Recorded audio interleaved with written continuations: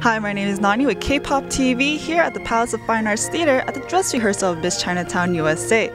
This year marks the 55th year where 12 beautiful ladies from all over states come to San Francisco to compete for the title of Miss Chinatown USA.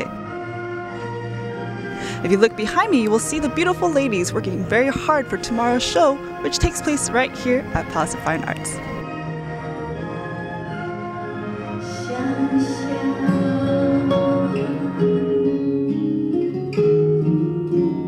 more information, check our website.